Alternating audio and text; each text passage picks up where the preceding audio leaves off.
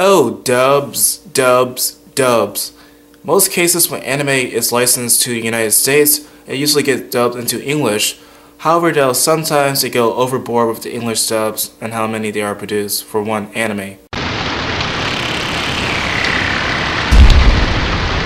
In case you guys are kind of curious about what I'm talking about, Lupin the Third, The Mystery of Mamo, which is available on DVD set by Discotek Media, contains four English dubs. Now, normally I would say like an anime would get like one or two dubs at the most, but four English dubs is a lot of English dubs. And you guys are kind of curious on why did they have so many dubs? I guess it's for licensing reasons. Well, in 1978, like Toho Company Limited decided to dub the movie for Japanese airlines, and so that English speakers could actually enjoy the movie. So that's the reason why they actually dub it for 1978 dub.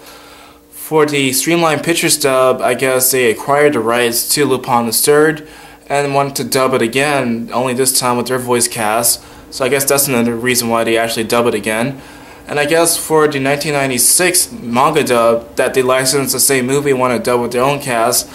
And I think for like the 2003 uh, Pioneer dub, they actually wanted to be dubbed with their own voice cast because the Pioneer dub cast actually dubbed Lupin the Third, uh, the second series. Without further delay, let's compare the characters and the voices for this one particular movie. The first character we're going to compare is like Lupin himself. Now Lupin is like a descendant of the original Lupin from France. But he's actually a mastermind and a thief and a burglar, you can name it. He's also really playful though, and he is really really funny, and he also has a, a session with like Fujiko Mine.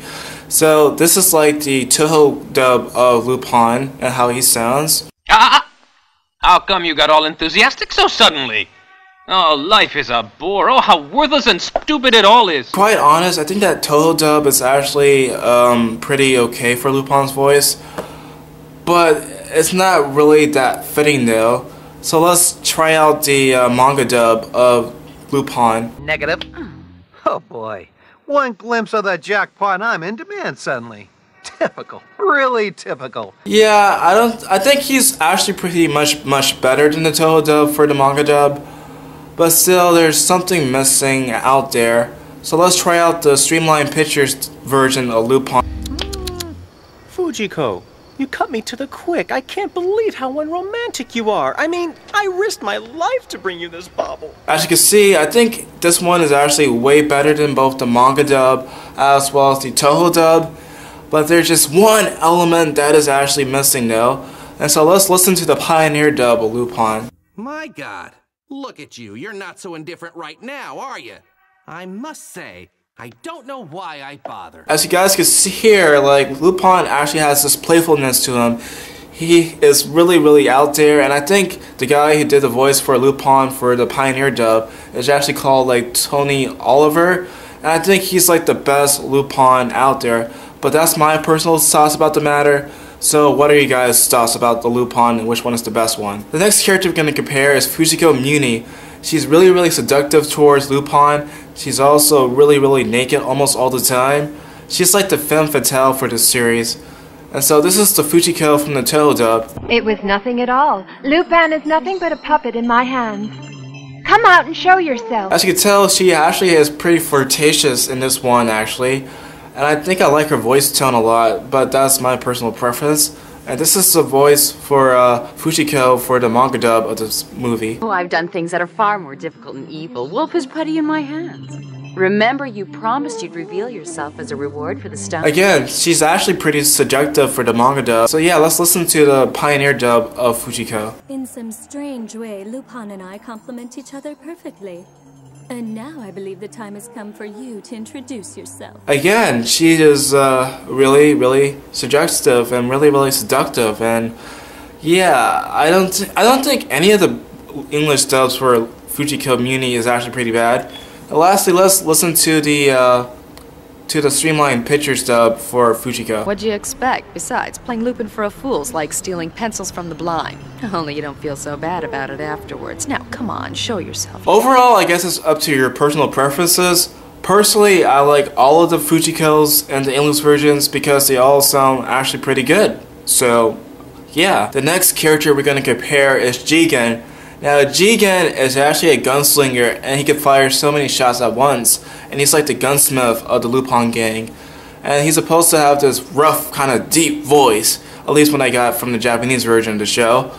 So here's the Toho dub of Jigen. Lupin, forget that woman. This is it. I've had enough. I've reached my limit. And it must have been Margot who told them about this place of ours. If you don't drop her, I'm getting out of this deal right now. Toho dub, I don't think is uh, pretty close to the character. I kind of picture him having much more of a deeper voice, at least to my opinion. But then let's also compare like the 1995 uh, streamlined dub for Jigen. Look, it's obvious what happened. We know who must have told him about this place. A certain redhead with a motorcycle and a skin-tight black leather jumpsuit on. She's nothing but bad luck. Either you dump her or you can count me out. He's also not bad at all. He's actually sounding pretty good. I guess he's in character. But that deep voice though, I don't think he has that deep voice, at least to me. So let's try out the manga dub of Jigen. Wolf, I'm just a little pissed off. And I'm telling you, you've got to forget Fujiko.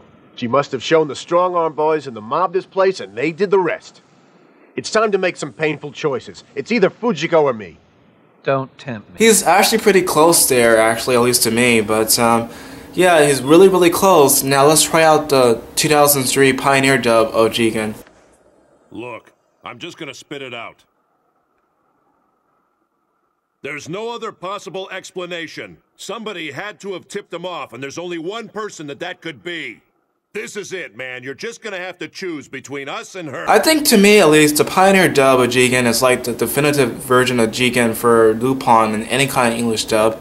He has this deep voice, he sounds like a badass. To me, he is the definitive Jigen, at least in my opinion. The last character in the Lupin game is actually called uh. Now Goemon is like this really badass samurai, and I guess he speaks like a traditional samurai too. He doesn't use the modern words and language that we use today. Joking? I thought you were the one who was joking. It was a mistake to take this job from a female. And then, out of sheer vanity, you decide to accept evil in return for good. Honestly, he sounds uh, really, really too deep for the character for the Toho dub. I kind of picture Goemon sounding much, much, much more lighter in voice tone, at least to my opinion. So let's try out the uh, 1995 uh, streamlined dub. It's you who should give it a rest, Lupin. This infantile need to prove your virility is humiliating to behold, and dangerous. Your lust for this creature has blinded you to her true nature. Now, this is actually what I have in mind for like Goemon. He's definitely, definitely, definitely sounds exactly what I picture of him when I see him. He's definitely the best voice for him, at least in my opinion. So let's try out the 1995 manga dub. A samurai warrior cannot work for a female. You accepted the commission to steal the stone for her only because you like the look of her ass. The wise man has said, nice asses turn men into asses. True. Yeah, um, I don't see how his voice for the manga dub actually fits the character at all. Yeah, it does not sound that great to my ears, at least. And finally, let's try out the uh, 2003 Pioneer dub. Bad enough that your infantile addiction to this woman has consistently rendered you an unreliable business partner, but even now, as she conspires with others to have us killed, you continue to defend her. That 2003 Pioneer dub actually sounds pretty close to what I had in mind as well.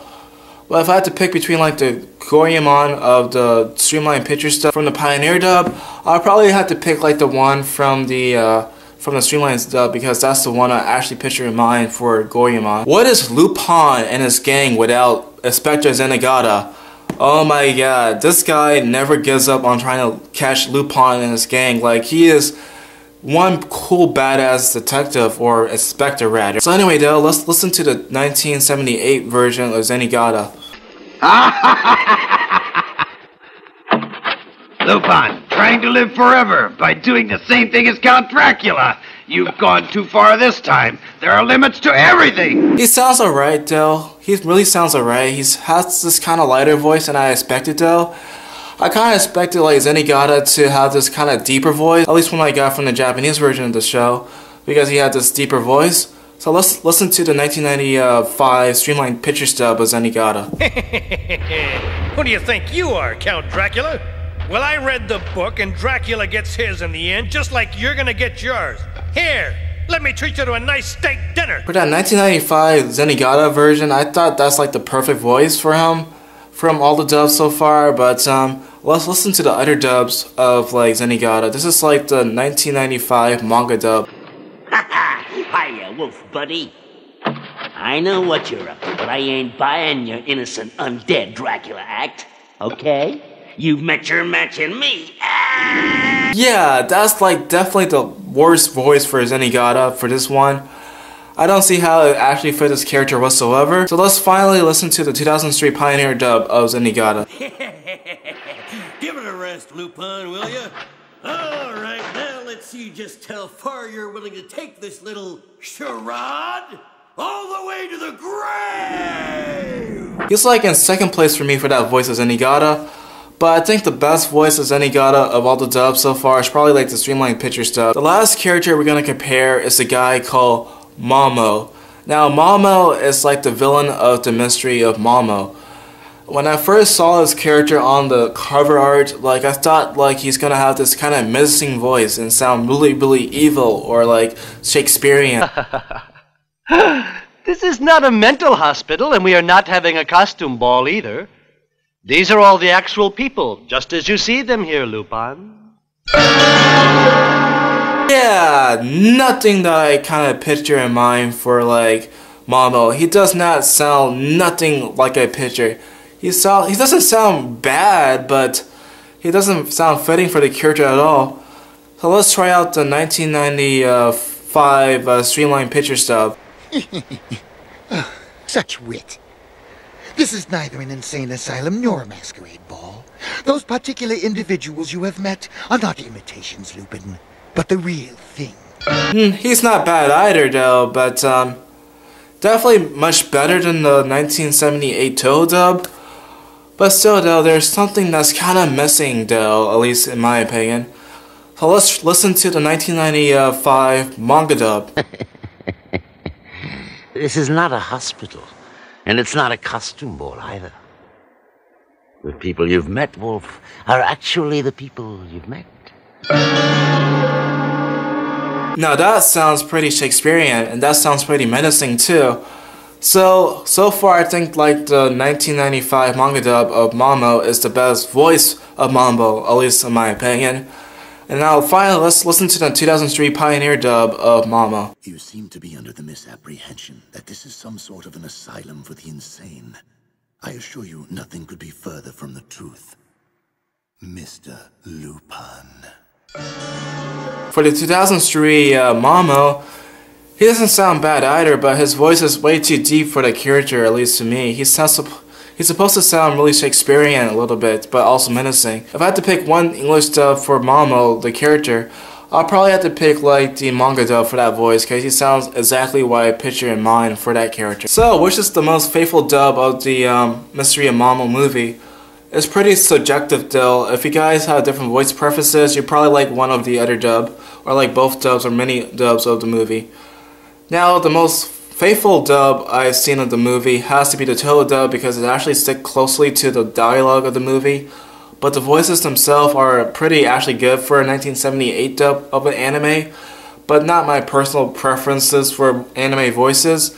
So if you guys want to see a faithful dub of that movie, please check out the Toho dub of the film. Now the 2003 um, Pioneer dub actually is probably my favorite dub of the bunch, but it has a lot of alterations to the characters and motives and so on and so forth.